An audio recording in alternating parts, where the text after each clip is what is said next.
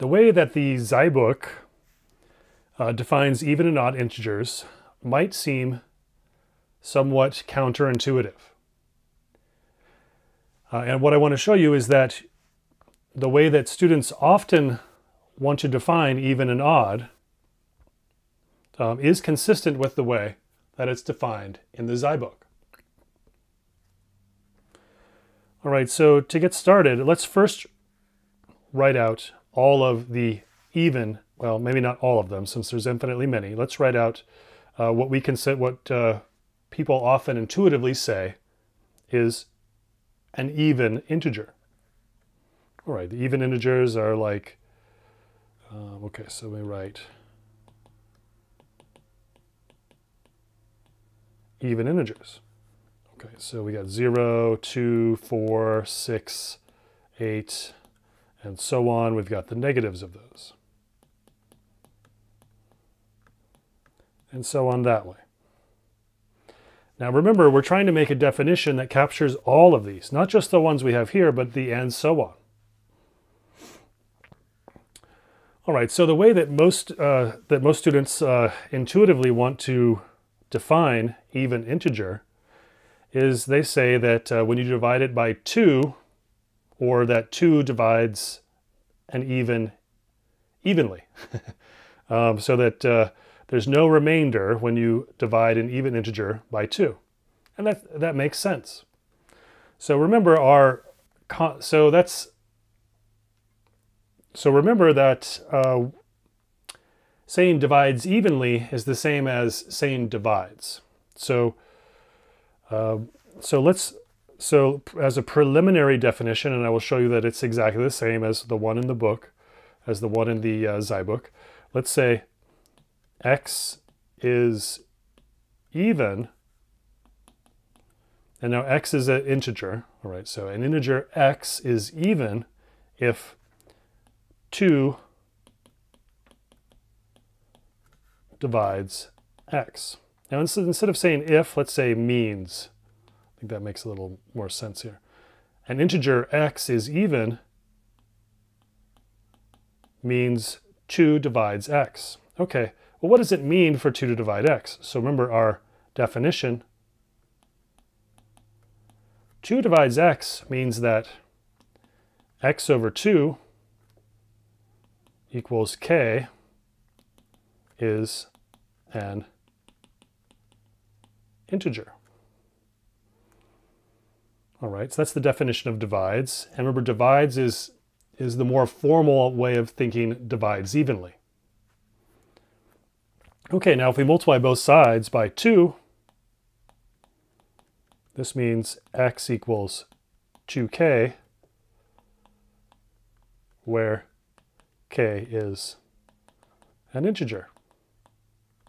And you'll see this is exactly the definition that's given in the Zybook. In the Zybook, x is even means the same thing as x equals 2k, where k is an integer.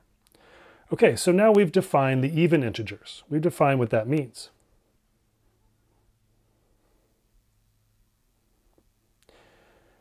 Mm, okay, so now let's think about the odds.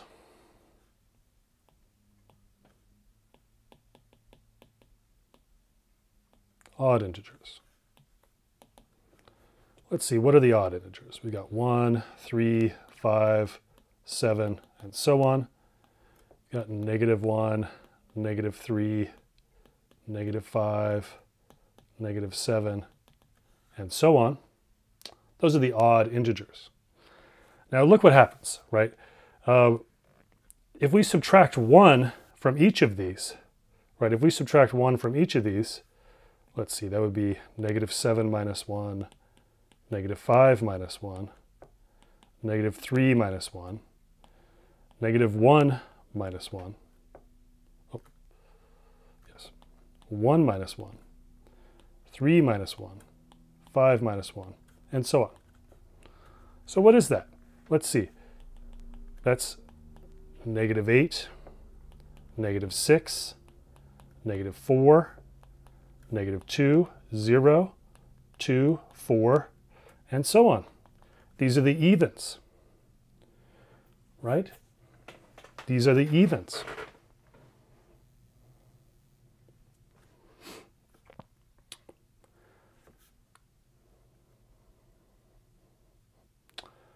So let's say that x, okay, so what this tells us, right, x is odd means x minus 1 is even. Okay, what does it mean for x minus 1 to be even? Right, remember what this means. This means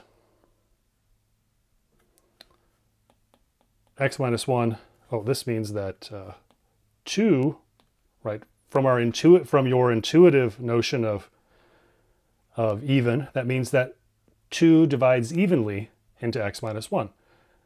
And our formalization, our formal way of thinking of that is with this concept of divides. It means 2 divides x minus 1. Well, this means that x minus 1 over 2 equals k, or let's just give, uh, let's say k equals k, where k is an integer. All right, now x minus 1 over 2 equals k. We can multiply both sides by 2. Those cancel. Now we have x minus 1 equals 2k, which tells us that x equals, oops, 2k here. x equals 2k plus 1. All right, so that's the math that I would do to say this means the same as x equals 2k plus 1